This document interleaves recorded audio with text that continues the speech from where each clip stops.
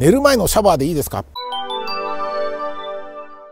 精神科医樺沢志音のカバチャンネル。今日は那須高原からお届けしています。質問いただきました。シュレネコさん41歳男性。ブレインメンタル強化体験の中で入浴で良質な眠りを得ることができると書かれていましたがシャワーでもそれなりの効果がありました。夜勤入りの日早朝に起きて午前中に仮眠する場合でもシャワーを浴びれば眠ることが多くなりました。質問というか報告なんですけども。まあ大体その寝る前90分前入浴っていうことでお風呂に入るといいですよね。なぜならばお風呂に入って体温が上がって90分ぐらいするとと深部体温っていう表面の体温が最初に下がって90分ぐらいすると体の内部の深部体温っていうのが1度ぐらい下がる。深部体温が1度下がるとですね眠りに入りやすくなるですね。そういう仕組みになっています。ですからお風呂に寝る前90分前に入るといいですよって話なんです。ここまでは知ってると思うんですけどいやとはいえなんかいつも夜11時過ぎに帰ってくるので風呂を沸かしてそこから入る時間がありませんってシャワーでいいですかってシャワーでもいいです。もちろんね。シャワーの場合もいいです。ですから体温が上がって下がっていくという形になりますので自分なりにですね例えばシャワーにしても温度とかそういうのもあるんで寝る直前にあまり熱いシャワーを浴びると体温が下がるまでに時間がかかりますので寝る30分前にシャワーを浴びる場合は42度とかあんまり熱いシャワーじゃなく40度以下のですね少し普通ぐらいの温度にした方がいいかなというふうに思います。あとですねこういうふうにお風呂は湯船に何分入るんですかとか90分前じゃなくて60分前だからダメですかとかいろんなことを考える人もいると思うんだけど自分でやってみてぐっすり眠れればいいので記録しておくといいですね。例えば寝る60分前にお風呂に入ったらすっきり寝れるのかっていうとおそらくもうちょっと寝るまでに時間がかかったりするとかね。あるいはお風呂の温度を少しぬるめにしとけば60分前でも大丈夫だとか。いろいろあると思うので自分なりにこの方のようにシャワーで調整していきたいって方はシャワーの温度とかシャワーの浴びる時間とかそういったものでね自分の一番眠りに入りやすい入浴方法シャワー方法ってあるのでとにかく自分流っていうのをある程度やってほしいんですね。私が皆様にお伝えしてるのは例えば朝散歩でも起きてから1時間以内に5分から15分ぐらいの散歩してくださいねっていうことを言うんだけど15分は無理ですとか起きてから1時間以内は無理ですとかいろんなことを言ってくる人がいるんだけどもだから自分なりにアレンジしていけばいいんじゃないの？っていうのが最終的な結論でどうしても起きてから1時間以内に行くのは絶対無理ですって言うんだったらいや1時間15分でもいいし1時間半でもいいのでやってみたらっていうことですよね。だからまあ私がこの YouTube 動画で皆さんにお伝えしているのは一つの理想形でありね教科書というか手本というかですね。例えば料理の仕方もさレシピとか載ってるでしょ？だから熱湯で15分茹でるって言った場合じゃあ14分はダメなんですか？16分はダメなんですか？ってやってみりゃわかるだろうって話なんで自分流に健康方法も同じでですねアレンジをしていくといいんじゃないかなと思います。